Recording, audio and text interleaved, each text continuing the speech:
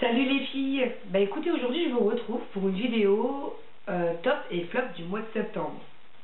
Donc on va commencer par les tops, parce que c'est des choses qui m'ont euh, agréablement surprise. Donc en fait, euh, je préfère commencer par le meilleur pour finir par le pire. Voilà. Donc, tout simplement, je vous avais parlé dans mon haul coréen, que j'adorais déjà cette petite chose.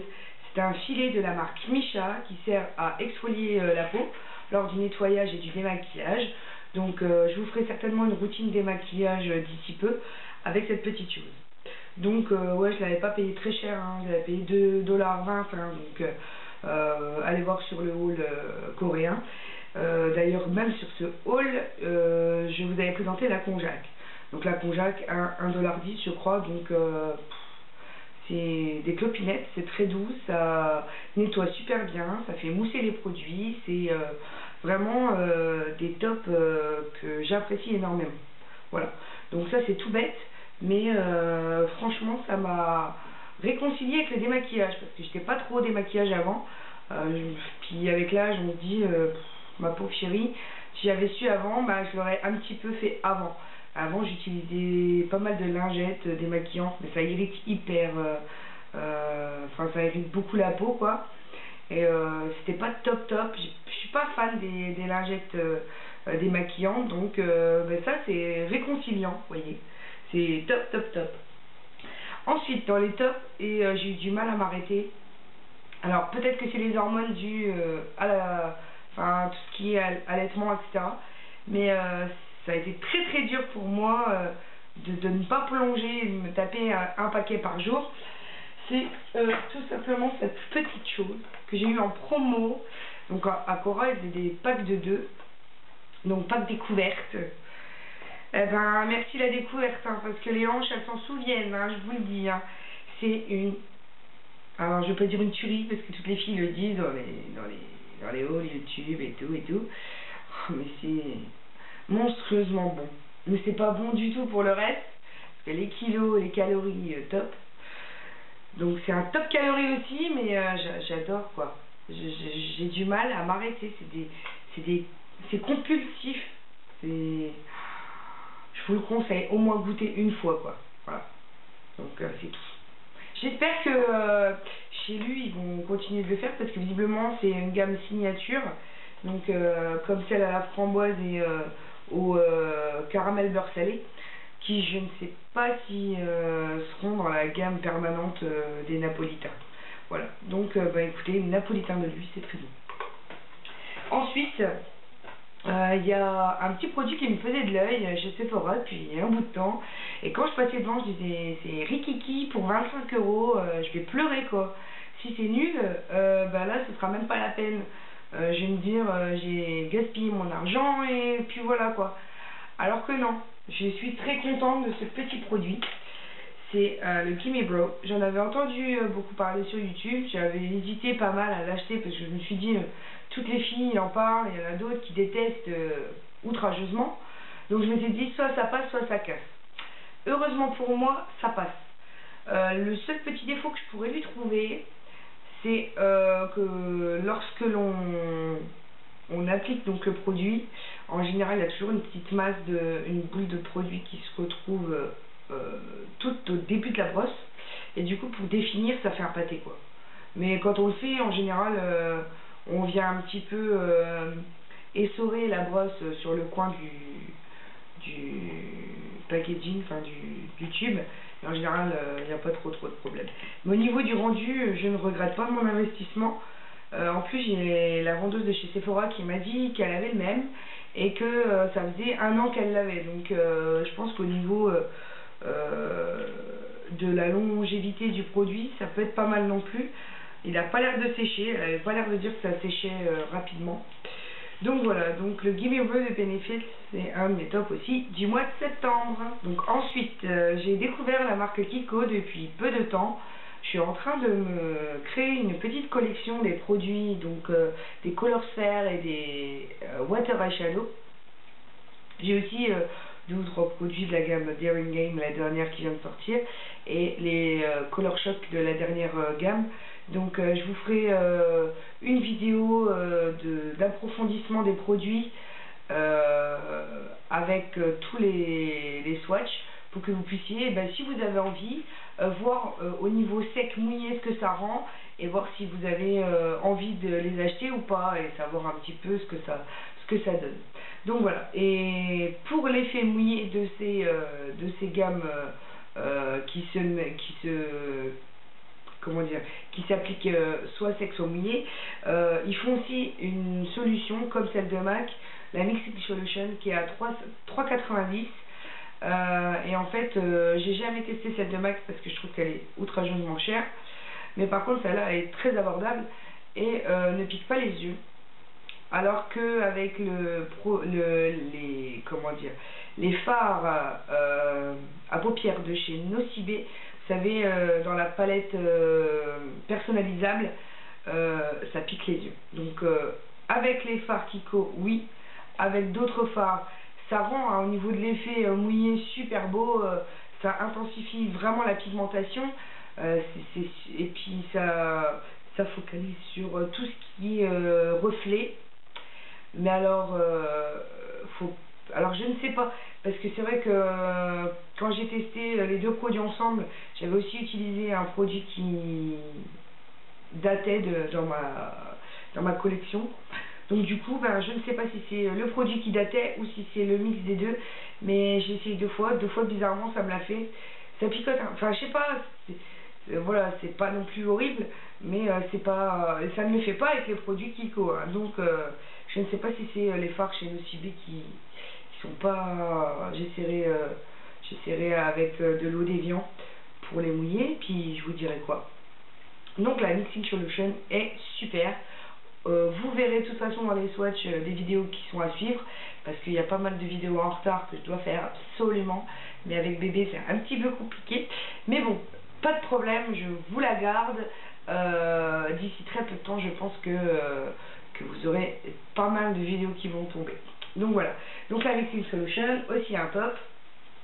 Et le dernier top, alors écoutez, je vous avoue qu'avec l'allaitement, d'ailleurs je vais vous parler d'un flop total, un guide total, de même. J'ai un petit problème avec ma routine allaitement. C'est-à-dire que bah, déjà j'ai pas la machine qu'il faut, donc je vous, l'expliquerai tout de suite. Et ensuite euh, j'ai, à cause du deuxième flop que je vais vous présenter, des irritations sévère au mamelon, extrêmement grave. Euh, j'ai persisté dans l'allaitement, c'est-à-dire que je me suis euh, bornée à vouloir allaiter à tout prix. Donc euh, je pouvais plus mettre bébé au sein, même avec les bouts de sein. Donc j'ai tiré mon lait, même si la douleur était là et que j'ai vraiment mais douillé. Enfin, pour pas être vulgaire, j'ai vraiment eu extrêmement mal, mais j'ai persisté. Euh, je suis allée voir euh, mon gynéco qui m'a dit euh, il faut mettre de l'anoline de pardon dessus erreur. Je suis allée voir mon généraliste et ma pharmacienne qui m'ont plutôt préconisé cette petite chose là donc savoir que j'étais à vif le sang coulait mais maman c'était horrible. Franchement c'était vraiment pas beau à voir quoi. Je ne pouvais pas régénérer puisque la lanoline en fait fait un écran pour protéger la peau mais en fait ça n'arrangeait rien en fait, puisque ça n'aidait pas à guérir, puisque c'était une barrière contre l'extérieur, mais ça n'empirait pas, puisque c'était une barrière contre l'extérieur et, et, la prolifération en fait des bactéries. Donc euh, c'était euh, le verre d'eau à moitié plein, mais à moitié vide en même temps quoi. Ça n'évoluait pas, alors que dans une plaie, euh, on attend toujours une amélioration. Donc ben forcé de me séparer de la lanoline, pour me tourner vers cette petite chose. Donc ça s'appelle Aderma, donc avoine réalba au niveau du laboratoire. Et c'est une lotion asséchante, visage et corps. Ça s'appelle le Citélium. Et en fait, c'est censé assécher et apaiser euh, les irritations cutanées. Donc, sachant que ça, la base, c'est quand même pour tout le monde, petits et grands. c'est utilisé principalement dans les irritations locales du fessier du nourrisson mais euh, ça, ça, fonctionne très bien sur moi étant donné que euh, à l'intérieur il y a du cuivre et de l'oxyde de zinc qui permettent d'assécher les plaies et de régénérer la peau. En fait, il n'y a que ça qui fonctionne. Et pourtant, euh, j'ai essayé plusieurs lanolines. j'ai essayé de laisser à l'air. laisser à l'air c'est horrible parce que quand vous avez l'engorgement qui arrive, ben tout coule. Alors que ben, en général les coussinets d'allaitement ça permet d'absorber. Donc une nuit avec le drap plein de lait, enfin c'est une horreur franchement. et ça, ça m'a sauvé la vie. Donc merci à ma pharmacienne Sylvie parce que franchement elle a appelé mon médecin euh, qui était pas de garde, euh, qui était fermé, qui était tout, elle a ouvert un dimanche, euh, rien que pour m'aider quoi. Donc je la remercie énormément, je lui fais plein de gros bisous si elle voit cette vidéo, merci énormément, parce que ça me soulage. Bon elle m'avait dit en deux jours ça risque d'être guéri quoi, cependant ça fait trois jours maintenant. Je persiste et signe à dire que c'est le meilleur produit que j'ai trouvé qui qui permet en fait aux mamans de coûter, donc de guérir. Je laisse à l'air, bon c'est sûr c'est pas très pratique au niveau des écoulements, mais bon à la limite on s'en fout tant que ça guérit. Et donc euh, ben ça c'est un top immense que j'ai failli abandonner l'allaitement à cause de ça quoi. Donc euh, remède miracle. Voilà. On va passer au flop. Donc je vous disais que j'ai pas mal de flops euh, qui m'ont ben, mise un peu dans, dans la mouise au niveau de l'allaitement. Donc le premier, c'est ça. Donc euh, selon Sylvie, je suis la première en, en 15 ans de, de, de carrière qui n'a jamais eu ça quoi. Donc ça s'appelle des coupelles de recueil de lait. Donc euh, pour les écoulements justement, on met ça en théorie euh, contre le mamelon. Enfin voilà, il y a un espace ouvert. On va le mettre contre le mamelon pour le, tenir par le, soutien-gorge. En théorie, c'est très beau, euh, mais en pratique, euh, ça c'est à utiliser sur le très court terme. C'est très occasionnel, surtout faites très attention. Moi, c'était jour et nuit pendant plus d'un mois et demi, enfin un mois, on va dire. ça m'a détruit. Ça m'a détruit. C'est d'ailleurs pour ça que j'ai eu les plaies que j'ai maintenant. Donc euh, très occasionnellement, euh, je recommande, mais juste si vous avez besoin de sortir et que vous voulez pas que dans le décolleté, ça enfin qu'il y ait d'auréoles, mais, euh, mais à bannir, à proscrire sur le long terme. Voilà. Donc, aïe aïe aïe. Second flop, eh ben, c'est tout simplement mon tirelet. Donc celui-ci, c'est le Manivac. Sensitif C, je ne saurais vous dire. Euh, Kaweco, visiblement la marque a proscrire aussi. Euh, moi j'ai fait l'erreur. Donc quand vous sortez de la maternité, on vous prescrit, on vous fait une prescription pour un tirelet si vous voulez allaiter et que vous voulez un tirelet. Donc euh, votre médecin vous fait une prescription, vous allez voir un prestataire de service de location de tirelet. Il vous propose plusieurs solutions. Donc celui-ci, c'est à 12 euros par semaine, il me semble. Il n'y a pas de supplément en fait de tarif pour la location. Et c'est pris totalement en charge puisque vous avez 70% pris par euh, la CP, enfin votre, votre, euh, votre euh, je vais y arriver, votre, caisse de, votre caisse maladie en fait, et les 30% restants par la mutuelle. Voilà. Donc c'est totalement remboursé, sachant que le problème étant que euh, c'est pas celui-là qu'il faut choisir. Donc voilà, celui-là je ne le recommande pas forcément euh, parce que je mets énormément de temps à tirer 120 euh, ml de lait quoi. des fois je passe des heures, enfin ouais, c'est. Franchement, je passe une heure à tirer mon lait quoi.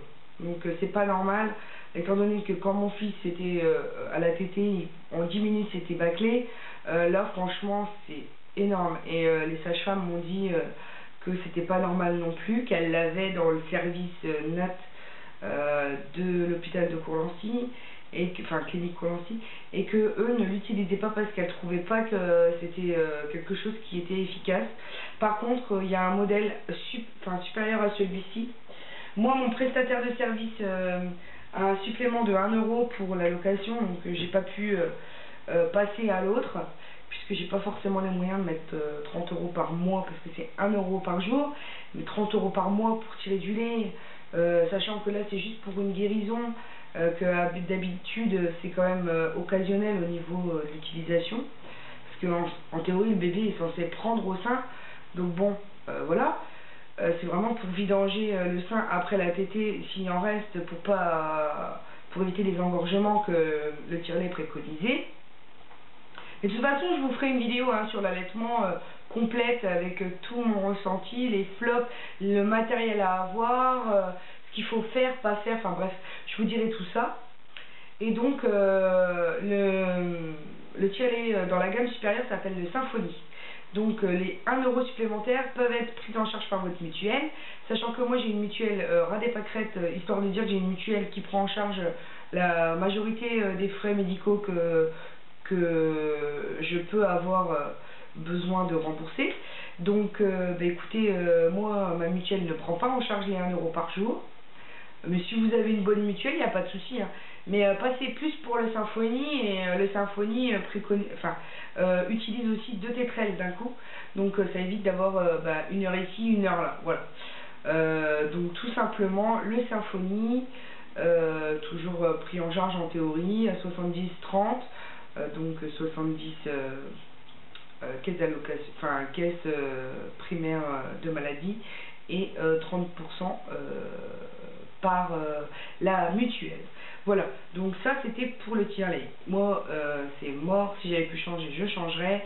Sachez quand même que si vous voulez changer en cours de route, euh, dépasser les 12 jours, alors je pense que c'est pris en charge totalement, euh, sortie de maths, mais euh, dépasser les 12 jours de... Enfin, si vous avez une prescription pour un tirelet qui dépasse les 12 jours après la date de l'accouchement, là c'est sûr c'est 70-30.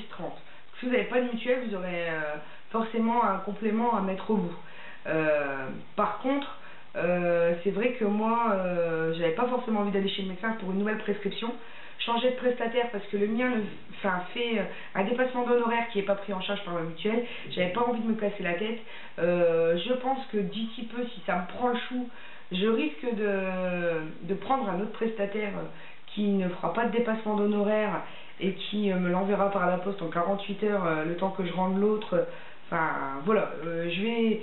Mais c'est beaucoup de, démarches.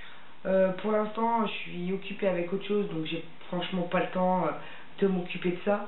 Pour l'instant, je reste avec celui-là, et puis voilà, quoi. Mais moi, je préfère vous, vous prévenir, vous, pour pas que vous fassiez la même bêtise, voilà. Ensuite, flop, de la maths aussi, hein, tant qu'on y est. Certains, enfin, certaines ou certains ne seraient pas du tout impliqués dans ce top flop, mais bon j'essaie de faire pour tout le monde. Euh, les bouts de sein bébé confort maternity en taille M, hein, moi j'avais pris. Donc c'est des bouts de sein pour aider euh, la tétée du bébé, euh, enfin et puis éviter les douleurs. Donc c'est vrai que c'est quand même non négligeable et ça, ça, aide le bébé à mieux prendre le téton s'il prend pas très très bien la réole. Donc ça c'est une horreur. C'est en fait le bout de sein est tellement mou que les deux parties enfin les deux euh, parois se collent et le bébé il tire rien. Donc ça c'est une grosse euh, bite, hein, pour pas dire le mot. Et il faut absolument prendre une autre, enfin un bout de plus rigide. Donc dans la revue sur l'allaitement, je vous donnerai les bouts de que moi j'utilise et ce, qui, ce qui est mieux pour le bébé en fait parce que ça c'est niette qui prend rien du tout, en plus il pleure parce qu'il a faim, euh, et on comprend pas pourquoi, c'est ça le pire. Moi j'ai mis hyper longtemps à capter hein, que c'était mon bout de sein le problème, parce que Hugo ne prenait pas quoi. Je me disais mais pas possible, euh, il a faim donc euh, il prend pas, et en fait non c'est les deux parois qui se collaient, donc zéro le pio, il avait beau tirer, rien du tout. Donc voilà, pour le deuxième flop. ensuite, non le troisième d'ailleurs, Ensuite, je vous avais dit le micronivis, hein, pour mes étagères, super. Euh, c'est mytho. Donc là, euh, moi j'en avais un deuxième en fait euh, que Balou m'a ressorti derrière les fagots, donc j'ai pas entamé celui-là. Mais ça, bon, c'est du mensonge. Ils disent maintien immédiat, c'est faux. Il faut laisser sécher au moins une semaine. Donc là, ben, mes étagères sèchent depuis une semaine. Donc là, c'est bon, je peux, j'ai mis quelque chose dessus, j'espère que ça va pas dégringoler. Parce que la dernière fois que j'ai essayé, après une journée, euh, ça a dégringolé. Euh. donc, euh, en fait, c'est pas vrai. C'est pas immédiat. Donc, bon, effectivement, ça tient, je veux dire, ça tient, hein, on en a remis, pas de problème. Hein. Mais 48 heures, ouais, quel accord, non, même pas, parce que 48 heures, la preuve, ça c'est ça s'est effondré, donc non.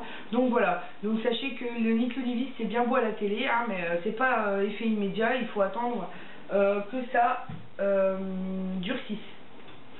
Et mes derniers flops, alors franchement, je les aurais même pas achetés, mais bon, j'ai gagné, vous savez, au Super U, bah, c'est la marque U d'ailleurs, au Super U, certaines fois, vous avez des papiers à remplir pour gagner euh, des, des paniers garnis ou des voyages ou des petits lots ou des choses. Et avec ma maman, on avait rempli euh, un bulletin. D'ailleurs, on en avait rempli qu'un, parce que franchement, euh, j'y vais pas plus que ça, pourquoi je vais chez ma mère. Et au final, on s'est retrouvé avec un lot donc de produits U offerts, parce qu'on a été tiré au sort. Sauf que j'essaye. Hein. J'essaye. Mon Dieu que j'ai essayé. Parce que c'était en cadeau, je me suis dit, ouais, ça peut être bien. Niet. Ça, un démaquillant oxygénant, élimine les impuretés, nettoie en fraîcheur, à l'eau de rose. Ok, pas de problème. Sauf que ça, ça pique le contour des yeux. Donc même si on veut éviter le contour des yeux, ça, ça, ça, ça irrite. C'est pas agréable. J'ai essayé, alors, c'est vrai, ça, ça, la texture est pas mal. L'odeur, bon, Franchement, l'eau de rose, euh, je suis pas fan à la base, hein, mais euh, bon, pourquoi pas Non, non, non. Non, merci. Merci les cadeaux empoisonnés. Je certainement ne viderai jamais. Je sais pas si je vais le jeter directement, euh, mais bon, ça c'est flop quoi.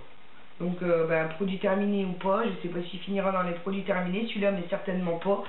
pareil pour la lotion tonique à l'extrait de fleurs d'oranger, j'arrive pas. Alors déjà que je suis pas fan d'hydratation, je suis pas la première à m'hydrater la peau, malgré le fait qu'en ce moment euh, ça va un petit peu mieux de ce côté-là. Mais alors la lotion tonique, euh, non. Non, non, non, non, non. Non, j'y arrive pas quoi. J'y arrive pas. Alors peut-être que d'autres euh, adoreront. Hein. Alors par contre du produit U, je vous ai réservé un truc que j'ai adoré. Hein. Donc c'est pas toute la gamme U bien sûr, mais un gel douche, une, une tuerie. Je vous l'ai mis dans les produits finis, il faut que je la fasse cette vidéo, mais euh, ça non. Donc mes flops euh, du moment, voilà quoi. J'essaye de les terminer, mais c'est même pas la peine. Je pense que ça finira direct à la poubelle, à moins que ma belle-sœur veuille le récupérer pour, euh, je ne sais pas, veuille le récupérer quoi. Mais non, non, non, moi je peux pas. Je ne peux pas. Donc voilà. Donc c'était tout pour euh, les tops et flops. Euh, donc je vous réserve aussi une vidéo euh, qui va vous montrer comment j'obtiens les boucles que j'ai aujourd'hui sans, sans chauffer les cheveux, donc sans l'abîmer.